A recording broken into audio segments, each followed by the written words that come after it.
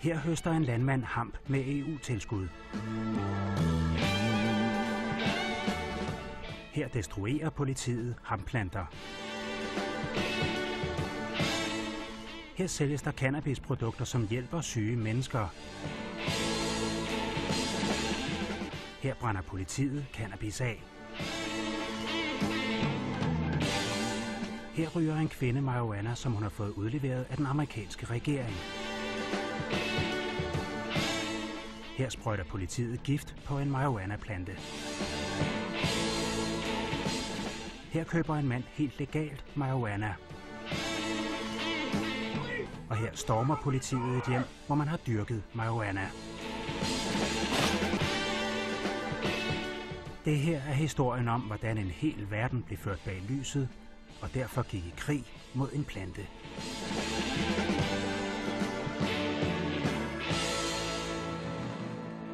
Hampeplanten har været kendt og brugt i årtusinder rundt om i verden.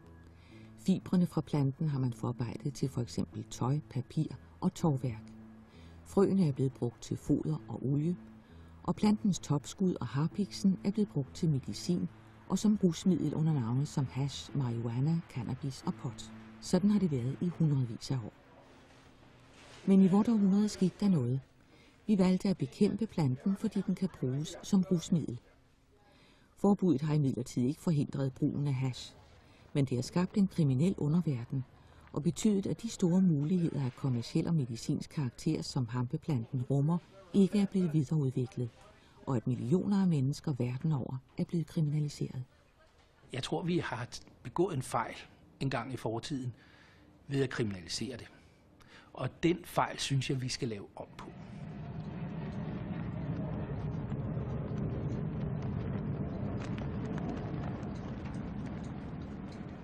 Cannabisforbuddet er skabt her i USA og er så blevet eksporteret til resten af verden. Det er manden her, der har haft en helt afgørende indflydelse på ikke blot den amerikanske narkotikapolitik, men også politikken på verdensplan. Hans navn er Harry Anslinger. I mange år var han hovedmanden bag håndhævelsen af det amerikanske spiritusforbud, som blev indført i 1920, og som betød et totalforbud mod alkohol i USA. Det fik ikke folk til at holde op med at drikke alkohol. Folk skaffede sig blot drikkevarerne af illegal vej.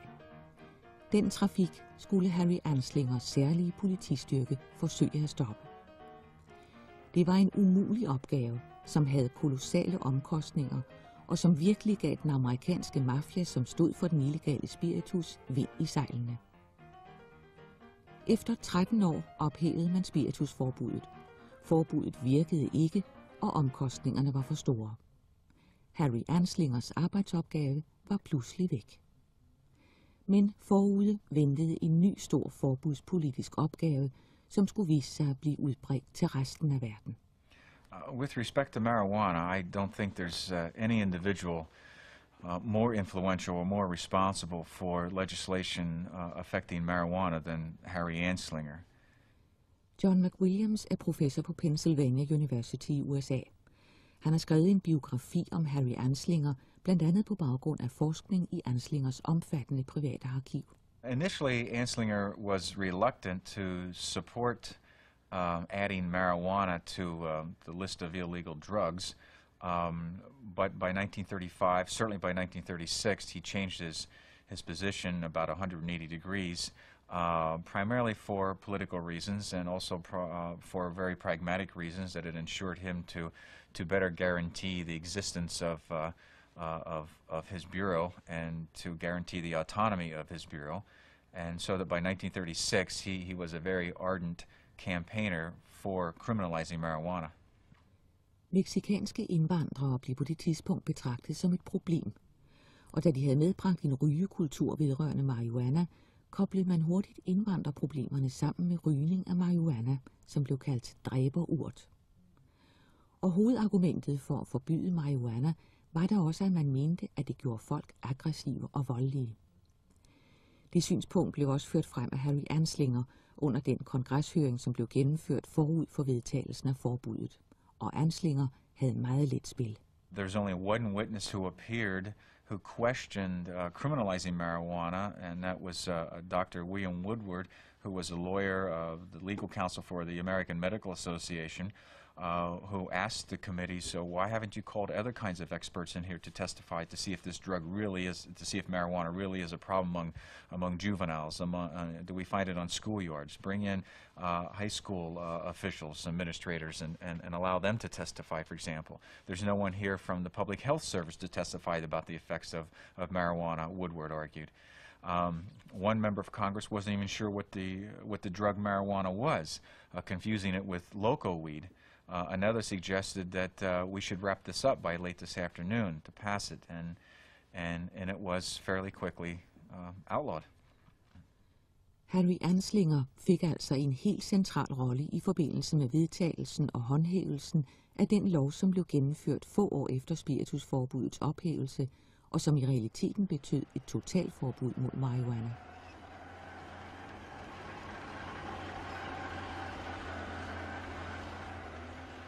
Forbuddet betød også et forbud mod dyrkning af hampeplanten, som indtil da leverede fibre til fremstilling af en lang række ting, blandt andet nationalsymboler som dollarsedler, det amerikanske flag.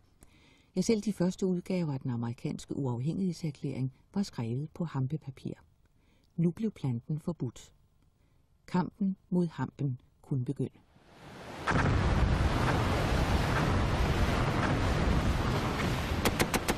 Men ved starten af 2. verdenskrig gik det op for myndighederne, at man ikke kunne undvære de stærke hampefibre. De var nødvendige til fremstilling af tovværk, uniformer, faldskærme osv. Så forbuddet mod hampedyrkning blev midlertidigt ophævet. Og i en propagandafilm fra Landbrugsministeriet opfordrede man ligefrem landmændene til igen at dyrke hamp for at sikre sejren.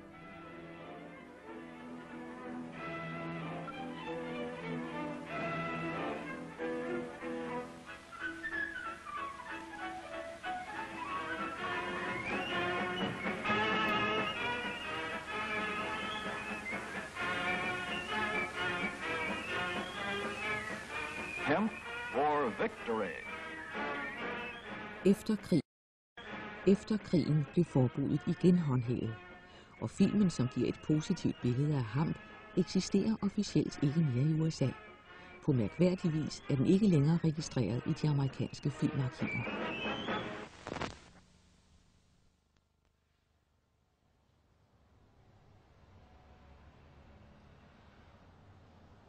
I en lille by uden for San Francisco i USA bor Hazel Rogers. When I was diagnosed, I asked my ophthalmologist if he could help me get some marijuana, and he said, "Well, no, it's illegal." And what I did about it, I wrote a lot of letters, like to the uh, Surgeon General of the United States, and I said, "Here I am, a 77-year-old woman, or I wasn't 77 then, I was 75. I have glaucoma. I could go blind, and I understand marijuana would help. And how come I can't get it? That I have to become a criminal?" Hazel Rogers fik aldrig svar på sine breve. Til gengæld tog hun sagen i egen hånd. Well, the main risk is growing it. I could be put to, sent to prison. I'm not sure for how long, but you know, it, it's a, a felony as a capital offense in this country. I could be sent to prison. I, I'm going to do everything I can not to go blind. Uh, I started using it every day, and within a, a very short time, my intraocular pressure went down, and I thought, whoopee, you know, it works.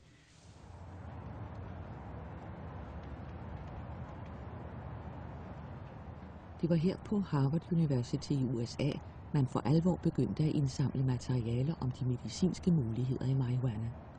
Arbejdet blev startet af professor i medicin Lester Grinspoon. I started to study marijuana, and uh, I discovered several things. First of all, that uh, while marijuana is not addicting, learning about it for me was. Part of the reason I was fascinated is because I learned how miseducated I had been about marijuana. I had, in fact, like so many Americans, been brainwashed. Grinspoon anses i dag for at være en af verdens førende eksperter på området. Han udgav i 70'erne bogen Marijuana i ny vurdering. Bogen er udkommet i en lang række lande, og det har sat yderligere fart i den internationale forskning i medicinsk brug af marihuana. men forskningen er ikke velset alle steder. The government is so concerned about the recreational use of marijuana. As a consequence, it has to exaggerate uh, the harmfulness of marijuana and has to say, oh, marijuana is not a medicine. Well, those two things are just not true. It's, it's far less harmful than most drugs, that, uh, and we know much more about it than most drugs in the pharmacopoeia. I see my uh, ophthalmologist every four months, and he'll tell me what my eye pressure is, and he's very happy with it. And at first, I was embarrassed. You know, it's illegal in this country. I was embarrassed that I used marijuana, but I finally told him, and he he wasn't surprised at all. At my age, I just don't know what the future holds. You know, I might end up in a nursing home. And they might say, Mrs. Rogers, you can't smoke marijuana here. but maybe not. Maybe the law will change and maybe they will look the other way. Okay, we're not going to go to John Kitchen. Four minutes, all right, thank you. Det er valgdag til præsidentposten i USA. Men samtidig markerer dagen den forløbige kulmination på den kamp, en række privatpersoner og organisationer har kæmpet i de 60 år forbuddet mod ham har eksisteret. Her er vi i kampagnehovedkvarteret. Endemålet er at få forbuddet ophævet, men her og nu ønsker man, at marihuana igen gøres legalt til medicinsk brug. We passed three bills three years in a row with bipartisan Republican and Democratic support, only to be vetoed by Governor Wilson. Frustrated, we combined those three bills into one initiative and set about collecting 850,000 signatures to put a proposition on the ballot that will legalize marijuana as a medicine.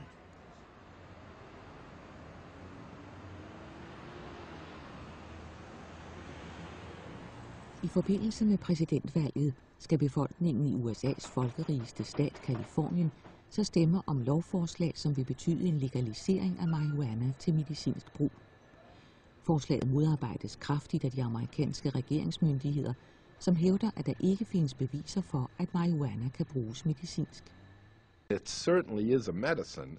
Uh, if it isn't a medicine, there are thousands and thousands of, pa- of patients uh, in this country and around the world who are deluded or who are getting an extraordinary placebo effect. Stop the shake, shakes. Um, I always keep one. I find a few puffs off the marijuana take it does much better for me than taking the pills do. When I really have the leg spasms, I'll take a Valium, but it makes me feel tired and listless.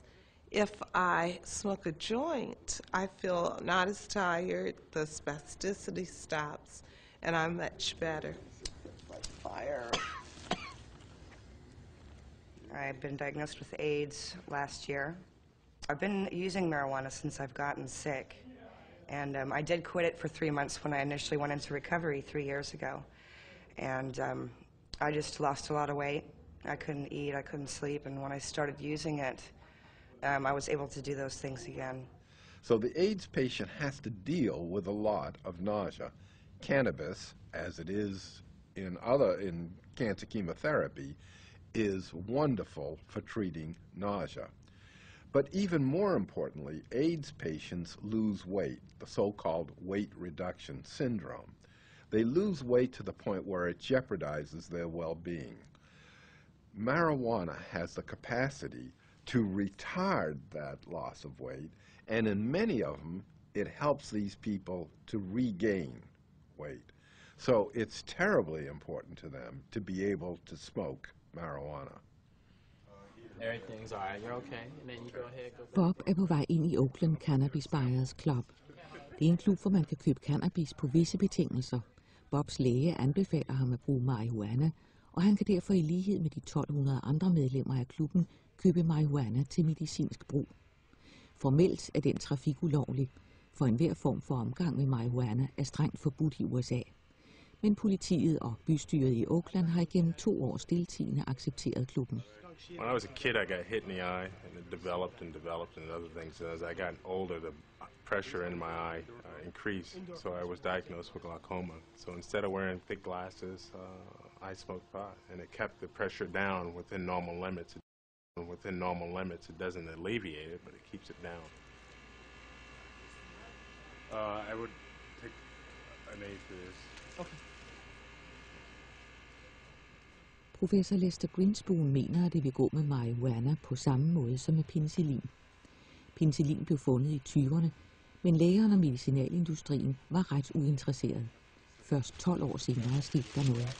In 1941, two investigators look at penicillin to take this this uh, uh, down from the shelf, so to speak, and look at it. And they studied it in just six patients who had a variety of, uh, of infectious disease caused by a couple of different mi microbes and found it to be remarkably effective. Now, you know, that is really anecdotal evidence, but it led to penicillin becoming known as a wonder drug of the 40s. Now, why was it a wonder drug? Uh, one, because it's remarkably non-toxic. People can take a lot of penicillin and not get into difficulty. Similarly with marijuana, it's remarkably non-toxic. There has never been, I could not find in my studies, a documented case of a death from marijuana. That's a remarkable statement. Secondly, uh, penicillin was, once it was produced on an economy of scale, very inexpensive. Marijuana, once it is freed of the prohibition tariff, will be remarkably inexpensive. I den seneste udgave af Greenspoons bog, Den forbudte medicin, oplistes der 35 sygdomme og symptomer, hvor marihuana synes at have en gavnlig effekt. Så også på det punkt kan marihuana sammenlignes med penicillin, der jo netop er karakteristisk ved at være virksom over for mange forskellige sygdomme. The fact is that when cannabis re regains the place it lost in the in the U.S. pharmacopoeia, a place it lost in 1941, it will be among the least toxic substances in that whole compendium, one of the least expensive medicines, and one of the most useful.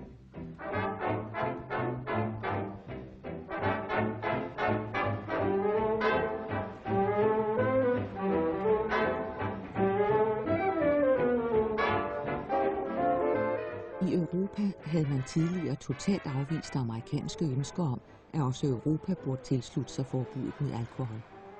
Men med hash skulle det komme til at gå helt anderledes. Ikke mindst på grund af Harry Anslinger.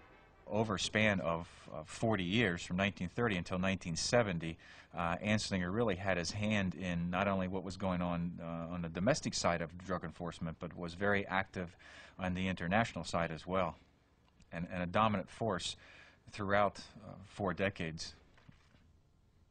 Harry Anslinger var altså ikke alene manden bag den amerikanske forbudslinje. Han blev også via Folkeforbundet og siden FN arkitekten bag det globale forbud mod hash.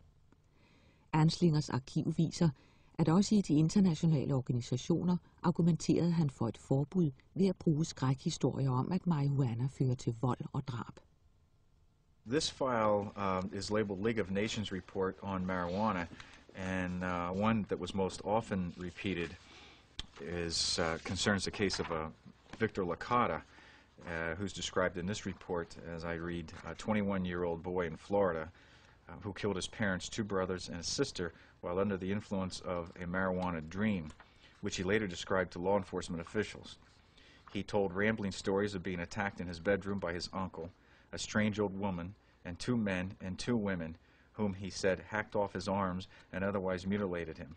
Later in the dream, he saw real blood dripping from an axe. Uh, these are the kinds of reports and stories that Anslinger referred to uh, either in his testimony or from the League of Nations. Um, Anslinger was correct in this, um, and the details were accurate in what he related, uh, unlike some of the others who the uh, details uh, seem to be either distorted or exaggerated. Uh, Victor Licata did smoke marijuana. Uh, he did use an axe to to murder his his parents.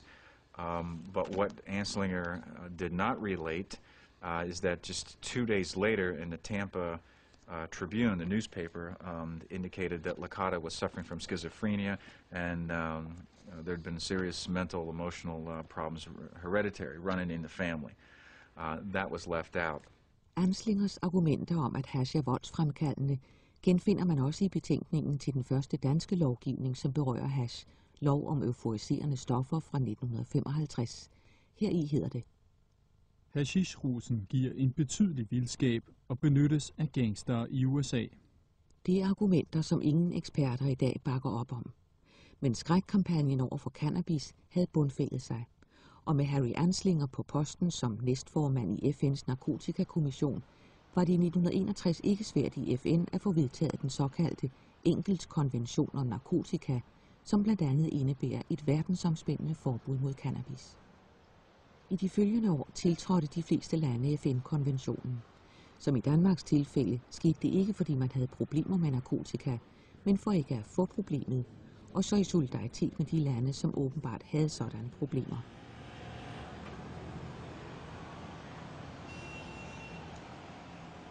Men det var langt fra alle steder, man var lige begejstret for Anslingers forbud. Her i Indien har cannabis lovligt været brugt i århundreder, og Indien var der også et af de lande, som i FN talte imod et forbud. Kompromiset blev, at Indien fik en overgangsperiode på 25 år, så forbuddet trådte altså først i kraft her i midten af 80'erne. It was entirely legal before that, and there was very little record of problematic use of cannabis. You know, uh, nobody in society would consider cannabis as problematic. Uh, and there was hardly any excessive use of it. It was just used in the culture and tradition uh, as, as something that people live with. Luke Samson er leder af sundhedsmyndighedernes narkotikaprogram i New Delhi. Han siger, at Indien blev presset og lokket af USA og FN til at gennemføre forbuddet, som har haft dramatiske konsekvenser. In the 1980s, when traditional cannabis users went to buy cannabis, they could not find cannabis anymore because it was illegal. Instead, they were offered an illegal substance, which was brown sugar, a crude form of heroin coming in from, you know, the northwest frontier provinces of Pakistan. And so many of the traditional cannabis users, uh, you know, converted to heroin, which was not their drug of choice. And so right now, we have as a consequence people who are using heroin, which is way too expensive, much more addictive, using heroin, which is way too expensive, much more addictive, uh, you know, has much more social and economic consequences than, you know, if they were just traditional cannabis users. Det amerikanske pres kan også registreres i Europa. Her er vi Frankfurt.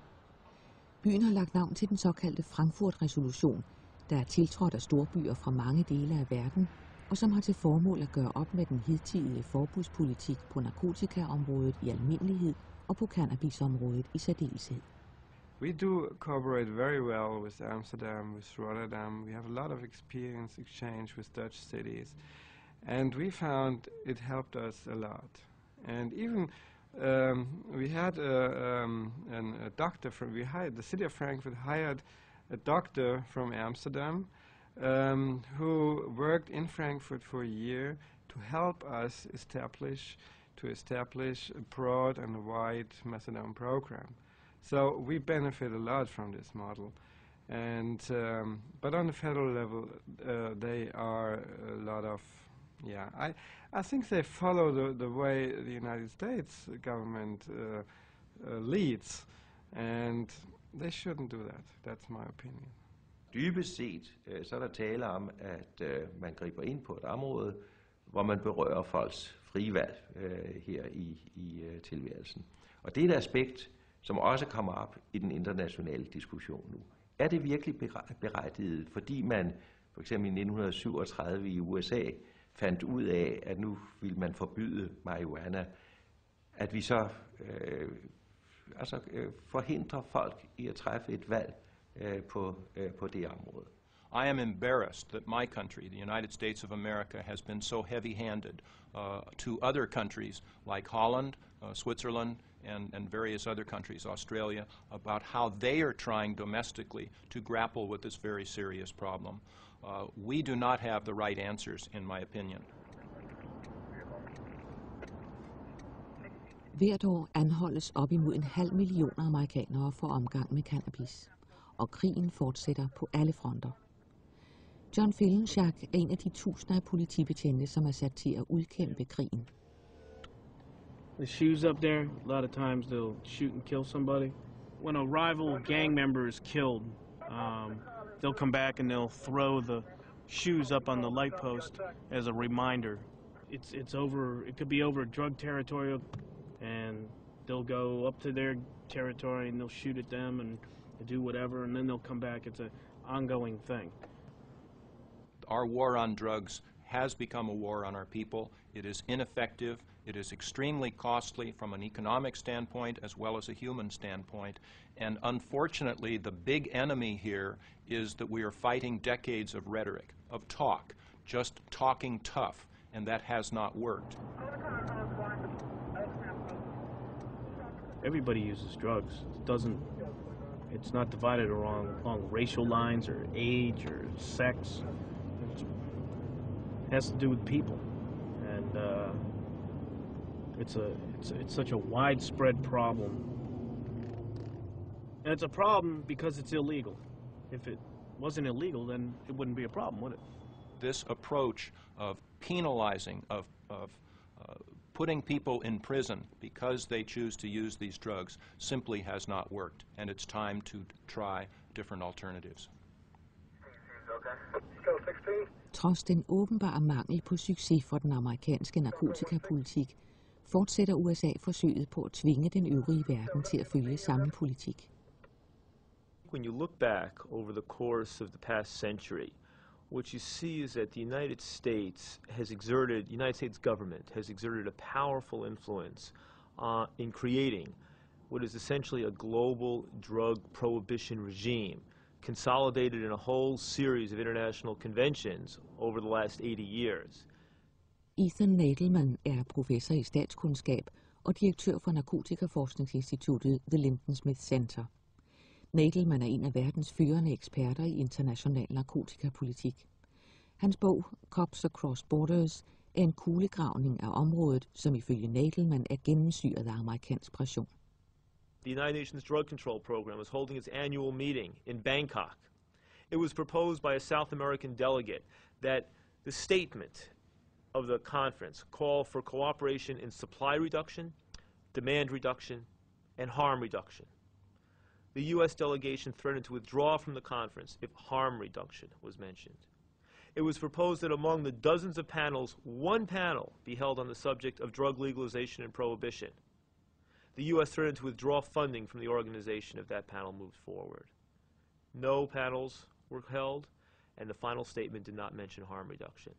In 1995, the World Health Organization came out with a final report on a multi-country, I believe 19-country study on coca and cocaine around the world.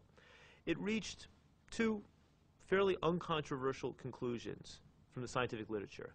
The first was that the traditional use of coca in South America was associated with few, if any, negative health consequences. In fact, there might even well be some positive benefits. And its second conclusion that although cocaine could be a potentially very destructive drug, the vast majority of people who use cocaine did not have a problem with cocaine use. No scientist could argue with either of those two conclusions. But the U.S. government applied very powerful pressure on the World Health Organization not to release that report, and it has yet to be released as of late 1996. Andre har lignende erfaringer med amerikansk pression. En af dem er Dirk Korf. Han er seniorforsker på Universitetet i Amsterdam og har blandt andet skrevet en doktorafhandling om den hollandske narkotikapolitik. Uh, clearly, uh, some some reports are not published or corrected due to United States interventions, but sometimes also due to Swedish interventions. Uh, for instance, a comparison between the effects of on health of marijuana smoking and alcohol drinking. The alcohol is then skipped is not allowed to be included in the report because the findings were that alcohol is much more risky than marijuana smoking. Well, that's typically a U.S. intervention because that would then mean that marijuana is not dangerous. And for decades already, the official policy is let us please try to find harms. And they never really found it. So there's this persistent, severe pressure coming not just from the DEA, which is essentially a law enforcement agency, but at the political levels from the White House. So there's this persistent, severe pressure coming not just from the DEA, which is essentially a law enforcement agency, but at the political levels from the White House, from the State Department, and other branches of the U.S. government.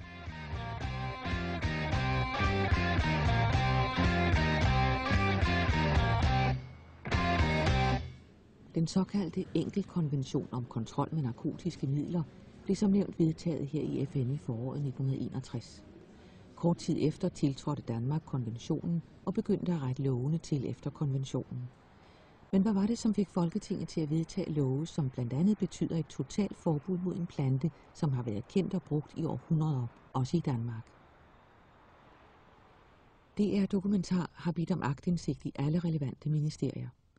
Akterne afslører, at man ikke på noget tidspunkt fik tilsendt videnskabelige undersøgelser fra FN eller fra anden side, som understøtter behovet for et totalt forbud mod cannabis.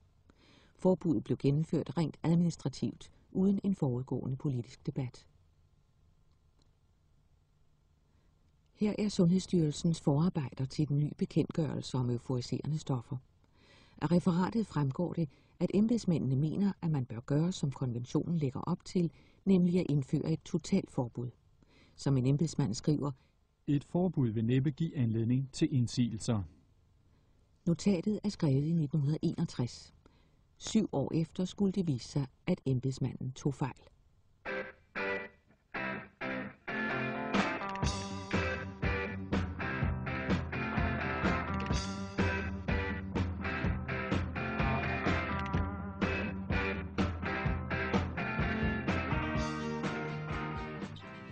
Rygning af den nu forbudte plante blev nemlig en del af ungdomsoprøret i slutningen af 60'erne.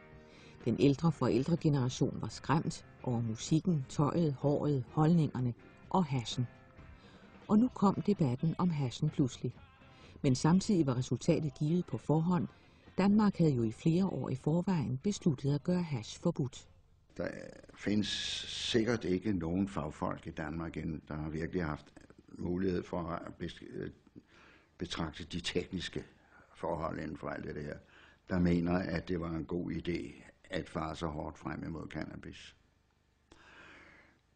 Det er ikke kommet, fordi nogen har syntes, at det skulle gøres på basis af nogen som helst videnskabelig grund. Det er kommet, fordi det kom med en lovgivning, der eksisterede før problemet overhovedet havde skitseret et behov for en eller anden lovgivning. Peter Syler var fra slutningen af 60'erne og frem til 80'erne en af regeringens rådgivere i narkotikaspørgsmål. Det samme var Hans Henrik Brydensholt. Han fik som ung embedsmand blandt andet til opgave at udforme narkotikalovgivningen. Beslutningen om en lovgivningsmæssig stramning karakteriserer Brydensholt i dag som et udslag af panik. Vi havde ikke behøvet at røre en, en, en, en tødel ved noget som helst øh, på grund af den internationale øh, konvention, vi var tilhængere af. Vi kunne ikke legalisere hash, men vi behøvede ikke at have gjort noget. Vi kunne bare have kørt videre. Men det var jo presset for at gøre noget for at, at, at, at bruge alle midler til at beskytte den danske ungdom, der gjorde det nødvendigt og for regeringen at komme med et, et forslag.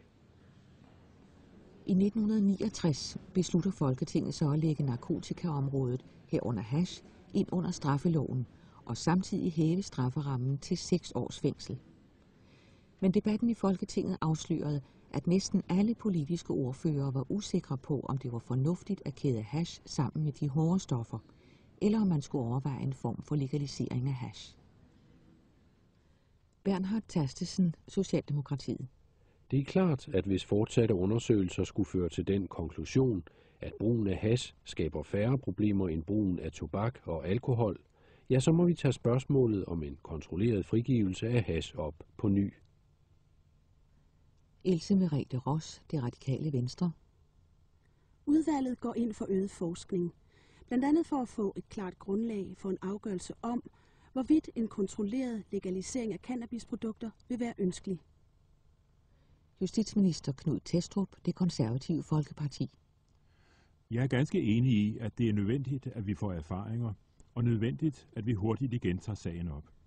Usikkerheden førte til, at Folketinget i forbindelse med vedtagelsen af den nye narkotikaparagraf også vedtog, at loven skulle revideres efter to år, netop med henblik på at diskutere, om cannabis burde legaliseres.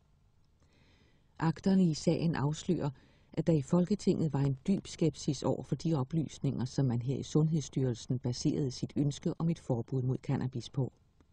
Af et notat fra en embedsmand i Indrigsministeriet fremgår det, at Sundhedsstyrelsen slet ikke vil begrunde, hvorfor styrelsen mener, at cannabis skal være forbudt. Embedsmanden kritiserer i sit notat Sundhedsstyrelsen for blot at hænge sit standpunkt op på vedtagelser i internationale organisationer. Der efter nærmere analyse ikke kan siges fri for også at være baseret på moralske og politiske værdidomme. Men den debat, baseret på andet end moralske og politiske værdidomme, fik Folketinget aldrig. Det skyldes utvivlsomt, at man i Sundhedsstyrelsen valgte en noget speciel fortolkning af de ekspertudtalelser vedrørende cannabis, man selv havde indhentet. Den vigtigste og mest omfangsrige udtalelse var udarbejdet af professor Villers Lund. I sit notat skriver han, at forskningen på området er inde i en rivende udvikling, og at De seneste års forskning og erfaringer har bestyrket tesen om hashis relative ufarlighed alligevel fastslår Sundhedsstyrelsen over for Folketinget, at det ikke er sandsynligt, at der i en overskuelig årrække vil fremkomme oplysninger, der kan gøre en ændring af den nuværende samfundsmæssige vurdering af cannabis aktuel. denne vurdering får Folketinget til at opgive den planlagte revision af cannabisforbuddet. Resultatet er, at Folketinget igennem de seneste 25 år ikke har haft en reel debat om det rimelige i en fortsat kriminalisering af cannabis og hampeplanten.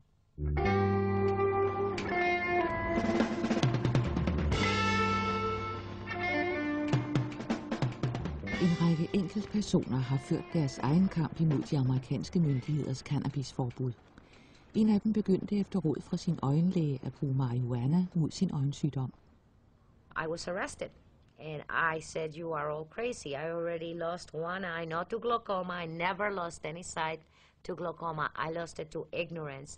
But this is 12 years later, and I already know that marijuana is not dangerous. That is the only thing that has maintained my sight in this eye. And my doctors, with 12 years of records, proved that in court. Plus Robert Randall, the first man to ever get it legally. And the judge concluded that I would have to be insane not to use it. Dommen fastslog, at Elvi Musica har ret til at bruge marihuana, så marihuana-cigaretten her er leveret af de amerikanske myndigheder. I hele USA er der kun otte personer, som har fået en sådan tilladelse. De er alle skulle igennem langvarige retssager. Men alt tyder på, men alt tyder på, at de otte fremover ikke bliver de sensationelle undtagelser. I kampagnehovedkvarteret for den medicinske brug af marihuana var stemningen i alt fald i mere end en forstand høj, da det i forbindelse med det amerikanske valg stod klart, at et flertal af befolkningen i Kalifornien og Arizona sagde ja til at legalisere medicinsk brug af marihuana.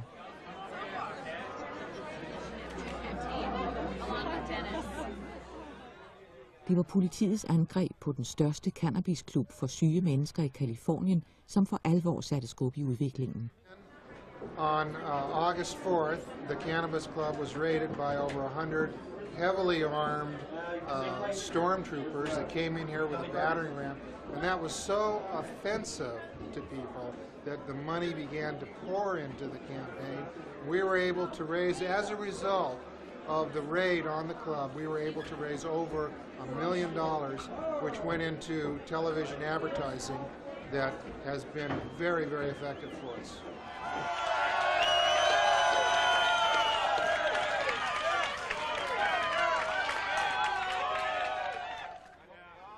Stilen er en anden, men glæden over afstemningsresultatet er den samme.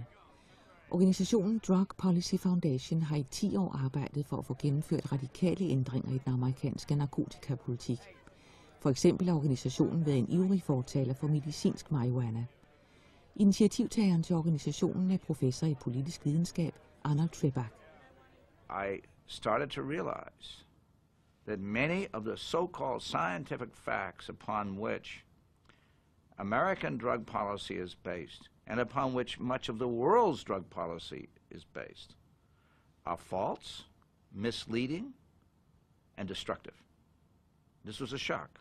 I always assumed our drug policy was a good policy.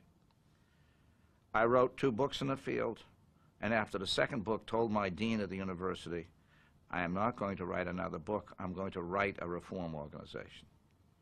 I sat down at the same word processor after my second book and wrote out the plans for the Drug Policy Foundation. The essence of the foundation is professionalism, respectability, science on the side of reform. Not screaming and hollering, not a bunch of hippies sitting around smoking joints. Uh, simply sound professional people, the best people in society coming forward. And that's what I sought to attract. And to be immodest, I've, I've succeeded in attracting the best. We will now uh, hear from the uh, about California Proposition 215. Organisationen indsamler og videreformidler erfaringer og forskning om narkotikaspørgsmålet. Tager sigte på at kvalificere debatten om mål og midler i narkotikapolitikken. The government just hates the idea of admitting there can be anything like a debate on drug policy. It is like the Bible. If you're a fundamentalist believer in the Bible, the text is pure, the text is clean, you must not deal with one comma or one period. It is holy writ, and this is a holy war. So, in general, our approach, the approach of our officials, is to deny the truth that in general there are many European models that are much more successful. They, they, that's what they do. They deny the truth. My job as an individual and the Drug Policies Foundation's job is to keep bringing forth the facts and to say, no, that is not true. Here are the facts about Europe. When I'm in Europe, I criticize drug policy because I think there's a lot of things wrong with the Dutch drug policy and the, and the English drug policy and the German drug policy. But compared to us, they have uh, Camelot, and we have hell.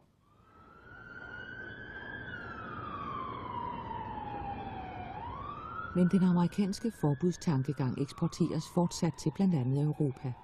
Og samtidig er modstanden hos myndighederne over for eventuelle forandringer så massiv, at man går så vidt som til at lægge hindringer i vejen for forskningsprojekter, for eksempel vedrørende medicinsk brug af marihuana. It shouldn't be that marijuana relies mostly on anecdotal evidence today because now we, we know about double blind controlled studies, but it's been impossible to do these studies. The government says, well, you don't have strong enough evidence for us to move this drug to Schedule 2. And we say, okay, we'll do some studies. And then the federal government says, we won't give you the marijuana to do the studies. There is an investigator in California by the name of Abrams who has been trying to do a double-blind control study on cannabis and AIDS for four years and can't get the permission of the U.S. government, even though he's got all the other permissions necessary, can't get the permission of the U.S. government to get the marijuana to do the study. The federal government, as part of the war on drugs, is committed to denying access to marijuana for patients whom it might help. It's a political uh, war on drugs issue, and it impedes not only proper research, but the likelihood that the drug can be beneficial to individuals who are sick. In other words, sick people are being held hostage to the war on drugs.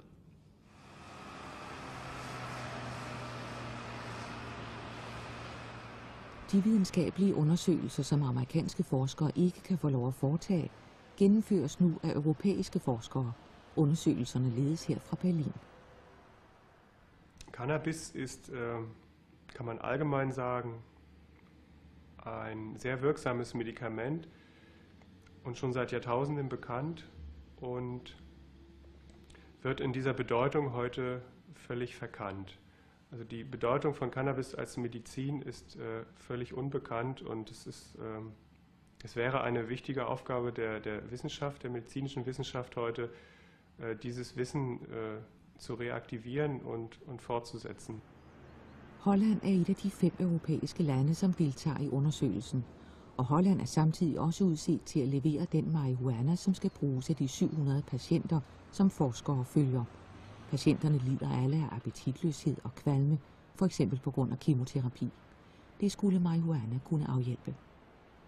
Es gibt sehr, sehr viele Berichte über die Wirksamkeit und, und wenig klinische Forschung, sodass da ein großer Nachholbedarf besteht. Und wir den ersten Schritt tun, diese Wirksamkeit ähm, wissenschaftlich abgesichert zu untersuchen und, und dass wir hoffen, dass, dass es mehr solcher Studien geben wird, um Cannabis als Medizin irgendwann einmal verfügbar zu machen für die Patienten.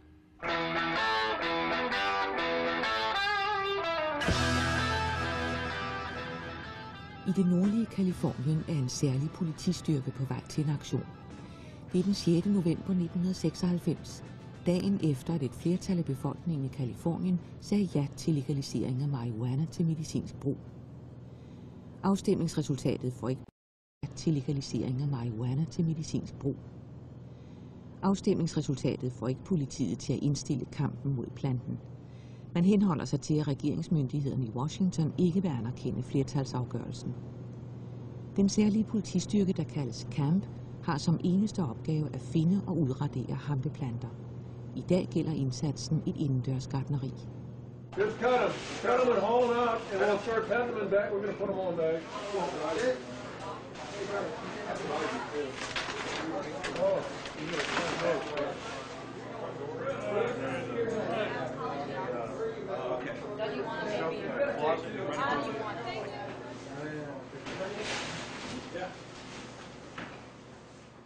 CAMP is a multi-agency drug task force. The mission for CAMP, number one, is to eradicate marijuana plants in the state of California. Number two, to arrest the growers of marijuana in the state of California. And number three, to do it in a safe fashion, not only for our law enforcement officers, but also for the citizenry that we serve. Camp will continue on regardless of the outcome of Prop 215. The Attorney General for the state of California believes solidly in our program, as does the Drug Enforcement Administration.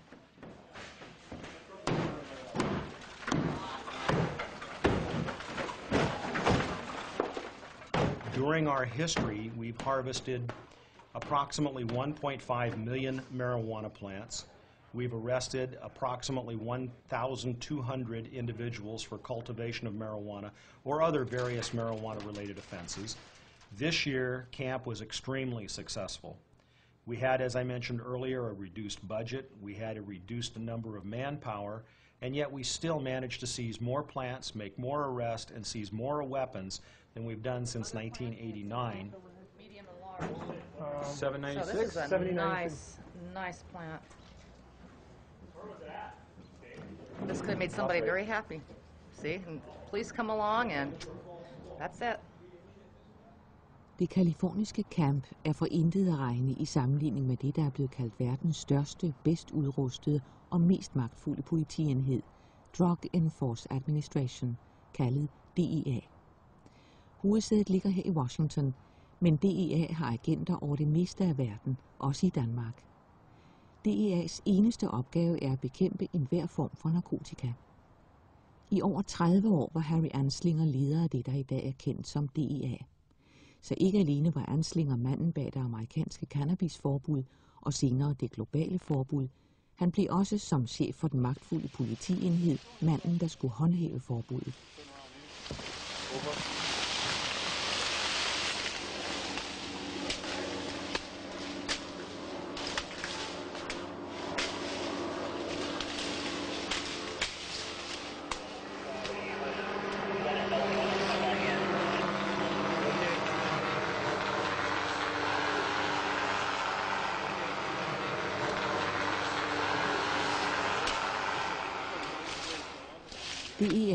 og dermed den amerikanske regering er den alt dominerende magtfaktor i narkokrigen, som udspilles over det meste af verden. a whole series of enforcement techniques like undercover operations, which were prohibited in European countries which did not like the notion of agent provocateur, provoking criminal acts were exported by U.S. agents, first informally in their contacts with local police, then with prosecutors, and ultimately succeeding in changing laws throughout the world to legitimize wiretapping operations where those were not previously legitimate, the use of informants, the use of controlled deliveries of drugs across borders, the use of undercover agents. Police, search warrant! Police, search warrant, open the door! Ready. Police, search warrant! Police, get out on the ground! Down on the ground, get out the floor! Move, move! Get out, get out! Get your hands down!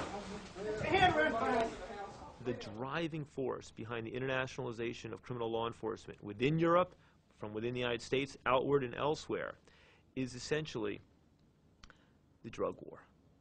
The drug war, drug enforcement still consumes the vast majority of international criminal law enforcement resources. It is the most corrupting dimension, and it is far and away the least necessary dimension. Arkiv, som befinder sig her på Pennsylvania University, fremgår det, at man før forbuddet blev gennemført, ikke havde en eneste videnskabelig undersøgelse af den eventuelle farlighed af cannabis, som kunne begrunde forbuddet. The committees really didn't know about marijuana. They, they had very little knowledge about marijuana, and so it was easier for, Mar for uh, Anslinger to convince them that marijuana deserved to be illegal. Um, he had no tangible evidence that he could produce, that he could, uh, that he could provide with congressional committees in 1937, um, and really it didn't matter. No one asked him for any evidence in 1937, and they simply criminalized the drug. Senere har man under tre forskellige præsidenter nedsat kommissioner, som har fået til opgave at bevise farligheden af cannabis og dermed understøtte det eksisterende forbud. Undersøgelserne gav imidlertid det stik modsatte resultat. Men det har ikke ført til ændring af den officielle holdning til cannabis. Den seneste undersøgelse havde man ansvaret for her hos DIA. Også her skulle undersøgelseskommissionen sætte fokus på farligheden af cannabis. Undersøgelsen blev ledet af DIA's egen dommer, Francis L. Young. He concluded that marijuana is not a dangerous drug as such, that it is a very therapeutic drug and is not at all what uh, it has been classified by the, uh, the DEA. The DEA on its own is now empowered to classify our various drugs, and they have made this a Schedule 1 drug. Now, that means that it has no medicinal beneficial properties at all. Uh, heroin or cocaine are actually Schedule II drugs, which means that they can be uh, prescribed by medical doctors. Uh, Judge Young said, uh, and I think in a very heroic and uh, very straightforward and truthful manner, that this was misclassified and that it should be changed. Since that time, he has been overruled by our DEA, uh, and they have not at all followed the results of this neutral and judicial decision. I, I think that's regrettable. This was a political decision that was made to overrule him instead of his judicial decision, and I feel embarrassed about that. Vi ville gerne have haft DEA til at fremlægge de eventuelle videnskabelige undersøgelser, der sandsynliggør farligheden af cannabis. Men DEA har ikke ønsket at medvirke i programmet. The general approach of the top White House officials and the top DEA officials is un American. The essence of America is open debate. And in the name of and in the name of pursuing a drug war, unhindered by opposition facts, they refuse to debate. You know what I one of the reasons I think they refuse to openly debate? They think they'll lose. Because the facts are on our side.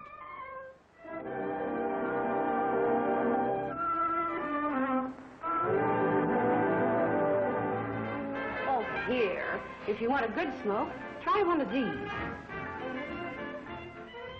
Det amerikanske cannabisforbud fra 1937 var som nævnt ikke baseret på nogen form for videnskabelighed, men blev til gengæld understøttet af en massiv propaganda. All these devoted to marijuana records. Here is an example. A 16-year-old lad apprehended in the act of staging a holdup. 16 years old and a marijuana addict. Here is a most tragic case. Yes, I remember. Just a young boy. Under the influence of the drug, he killed his entire family with an axe.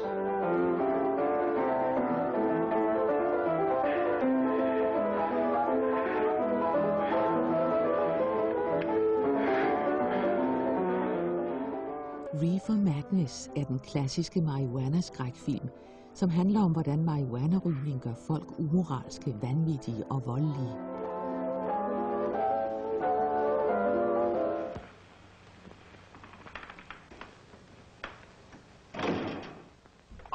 What you want.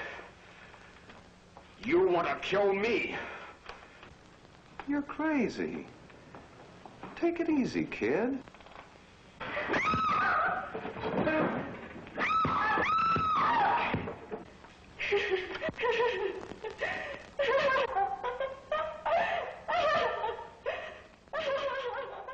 Og at marihuana skulle være voldsskabende, var som nævnt netop hovedargumentet for forbuddet. Your Honor, in this case, the state waives trial of the defendant, Ralph Wiley. It is convinced that he is hopelessly and incurably insane, a condition caused by the drug marijuana to which he was addicted. Det argument er der ingen, heller ikke DEA og de øvrige amerikanske myndigheder, der i dag forsøger at begrunde forbuddet med. Men er der da siden 30'erne dukket andre undersøgelser op, som dokumenterer skadevirkninger, der kan legitimere, at cannabis fortsat er på listen over totalt forbudte stoffer. Både udenlandske og danske eksperter siger nej. Marijuana is remarkably free of toxicity. Uh, as I've said, it, it, it, you can't find a documented case of death from marijuana. Marijuana as a therapeutic agent has extremely wide safety margins. The behavior issue is important. Uh, for some individuals, the increase in heart rate might be important. But in reality, the drug appears to be safe for use at low dose under a wide variety of circumstances. This, for instance, um, inspired Judge Francis Young, who heard a lengthy legal argument that marijuana should be available as a medicine. It inspired him to say that on the evidence, he thought marijuana was probably the safest psychoactive drug that humans had ever taken. Hash er jo det mest ugiftige rusmiddel, eller et af de mest øh, ugiftige stoffer, der overhovedet findes. Der er jo ikke, I tror jeg, i, øh, i verdenshistorien og i verdenslitteraturen rapporteret om et eneste tilfælde, hvor, hvor folk er døde af, af en hash-overdosis. Så i den henseende er det jo meget mere, mere sikkert end, end alkohol, hvor der er jo en, en faktor 10 ikke, fra, fra det niveau, hvor vi er beruset, og så det niveau, hvor, hvor folk slår sig selv ihjel, ikke? en akut rus.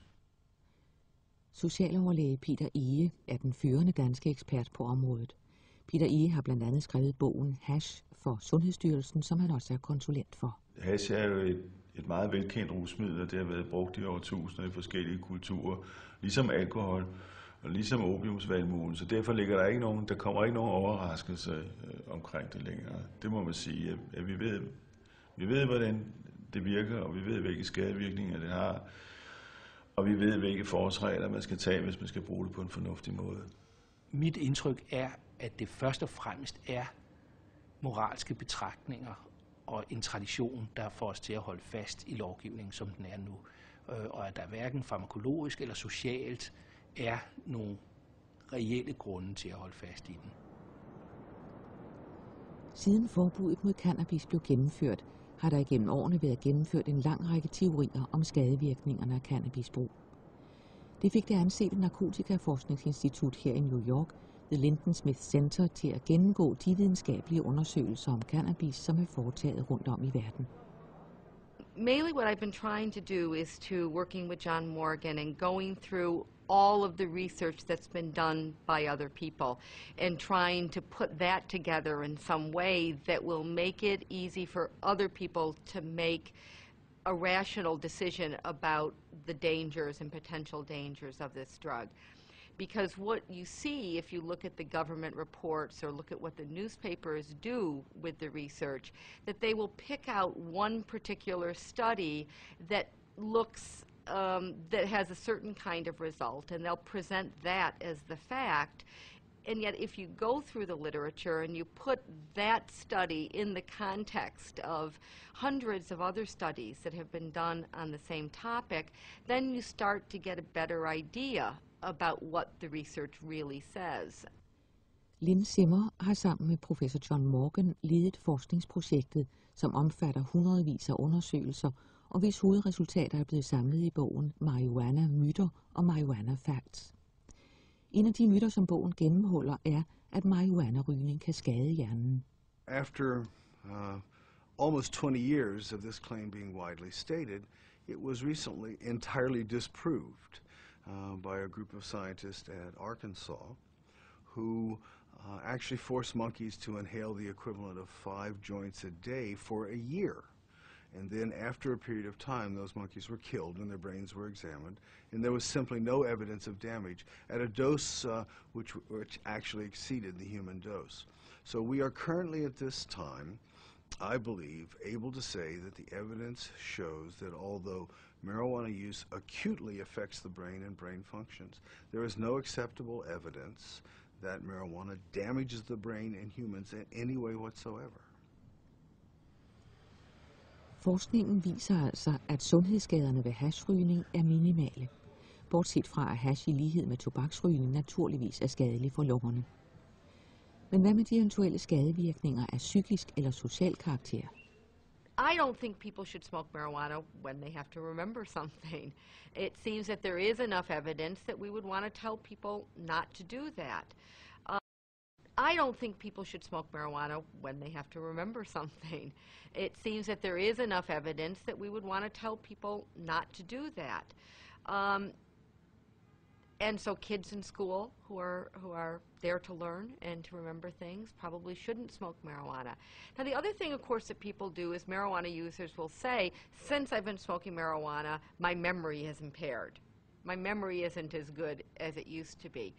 But there's been no prospective studies in which you could sort of trace over time whether marijuana users actually lose their memory at a, at a higher rate than non-users um, because everybody wants a, a reason to explain why they can't remember things. We did a number of studies of grade point averages of high school and college students in the 1970s to see if marijuana use was associated with faulty academic performance. It was not. Det, som alle rusmidler jo gør, det er jo, at, at de stjæler eller de forbruger tid og penge. Og hvis man bruger for mange rusmidler, så forbruger man for meget tid og penge på det, og så, så kikser man i forhold til den normale uddannelse og den normale erhvervskarriere. I, i den henseende er det, er det fuldstændig lignende med alkohol. There is a phrase which you and I can say, a motivational syndrome. There is not a scintilla of proof that such a thing exists. There may be individuals who, as young people, become apathetic and uninvolved, and perhaps their choice of marijuana uh, relates to their apathy and disinvolvement. But the idea that marijuana causes an amotivational syndrome, there is not one shred of evidence that it's true. The Lancet er et af verdens mest ansete lægetidsskrifter. I en ledende artikel sammenfatter bladet de seneste års forskning vedrørende marihuana på denne måde. Selv langvarig rygning af cannabis er ikke skadelig for helbredet. Alligevel er dette vidt udbredte stof illegalt næsten overalt.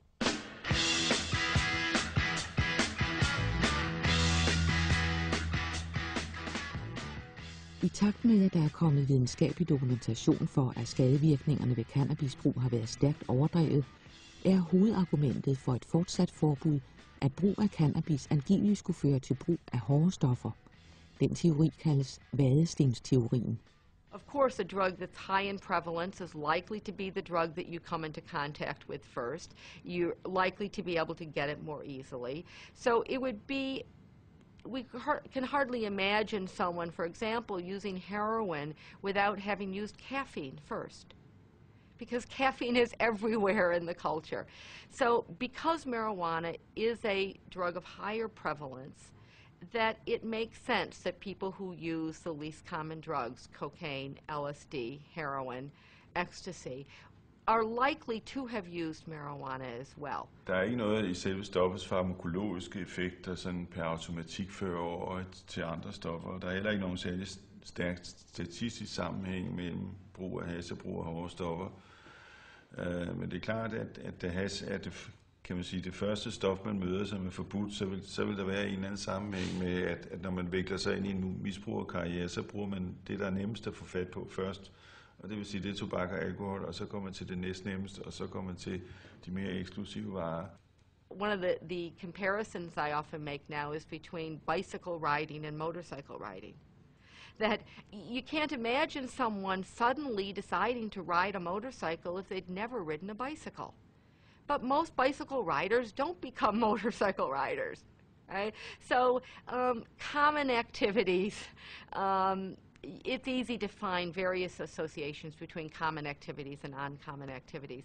But um, marijuana doesn't cause people um, to use other drugs. Marijuana doesn't change the brain in some way that leads people to use other drugs.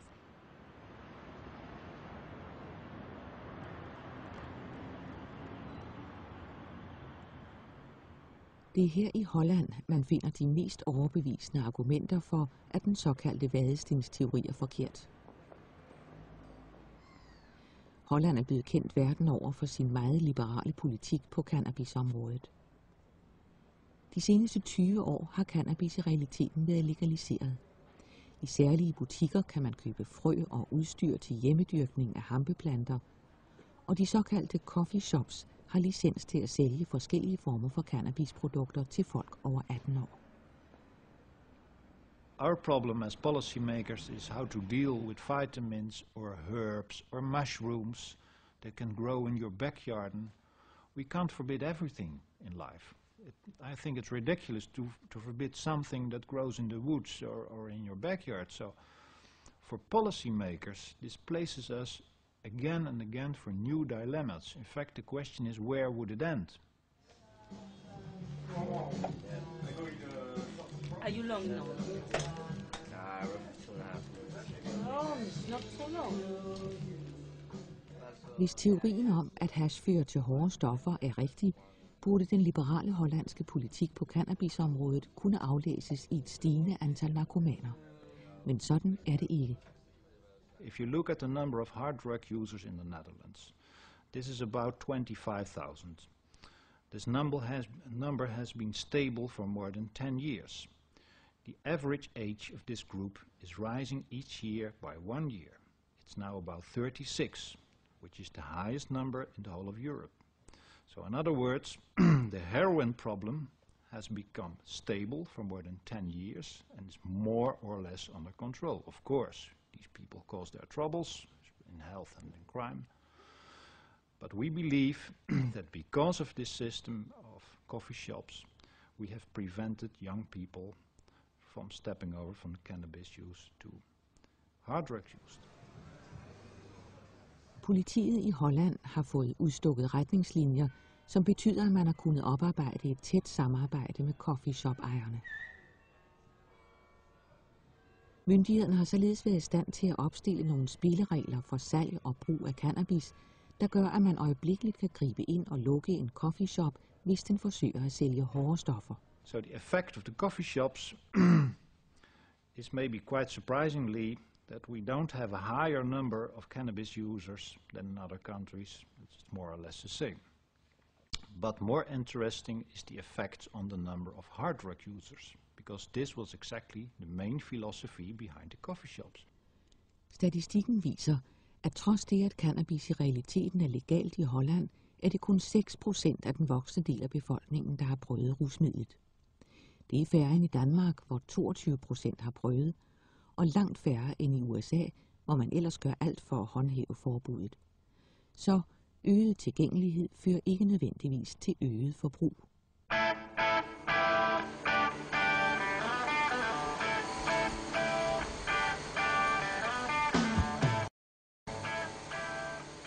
Når spørgsmålet om det rimelige i et fortsat forbud over for hampeplanten og cannabisprodukter igen er blevet aktuelt, hænger det sammen med billeder som disse. Landmænd, der med EU-tilskud høster hamp til industriel brug, fordi verdens stærkeste naturfibre kommer fra hampeplanten. Samtidig dukker der flere og flere varer op, som er lavet af hamp. En af de hurtigst ekspanderende butikskæder i Tyskland er Hanfhaus. Hanfhaus har specialiseret sig i at sælge en lang række produkter fremstillet af hamp.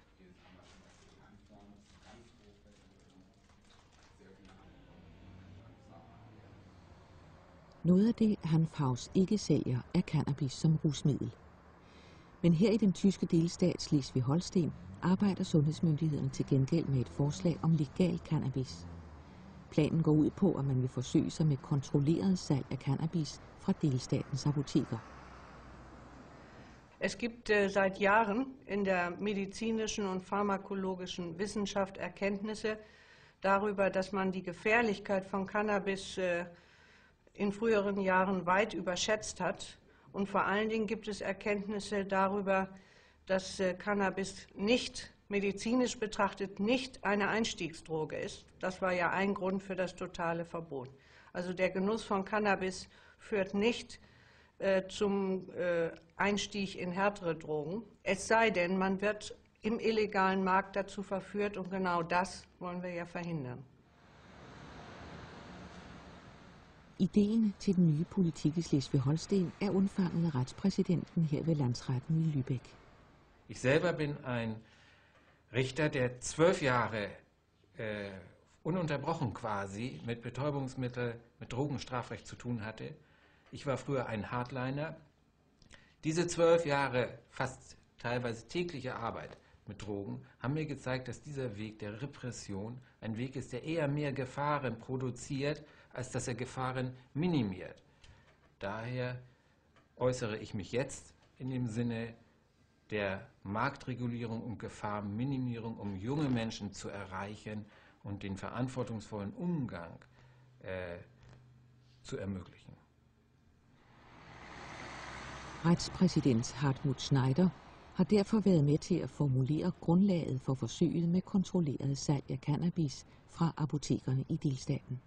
Hieran kann man ganz deutlich sehen, dass wir in einer Übergangsphase sind. Übergangsphase zur Entkriminalisierung von Haschisch. Aufgrund, das muss man immer wieder sagen, neuer wissenschaftlicher Erkenntnisse, anders als der Gesetzgeber es glaubte, angenommen hat, 1970 und in der Zeit davor, kann man heute sagen, aufgrund dieser wissenschaftlichen Erkenntnisse, Haschisch ist deutlich weniger gefährlich, als wir es immer geglaubt haben, insbesondere als Alkohol und Nikotin. Das hat auch schon das Schweizerische Bundesgericht gesagt. Es ist also gar nichts so sehr Neues. 1991 so das Schweizerische Bundesgericht.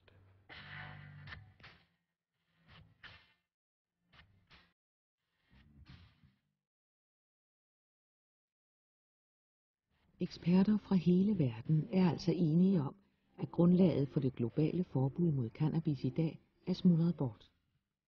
De kommercielle muligheder i hampeplanten er ved at blive genopdaget og videreudviklet. Det samme er de medicinske muligheder. Og cannabisprodukternes relative ufarlighed er nu veldokumenteret. Alt i alt betyder det, at der også fra danske eksperters side stilles forslag om radikale ændringer i politikken på cannabisområdet.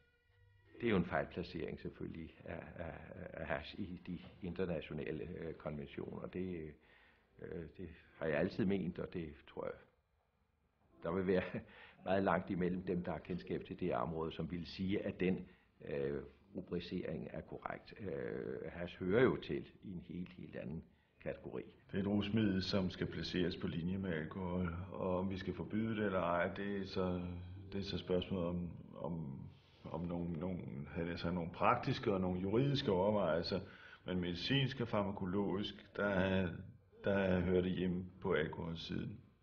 Jeg tror ikke, der vil blive flere, der ryger hash. Jeg tror ikke, at problemerne i forbindelse med det at bruge hash en gang imellem vil ændre sig på nogen måde.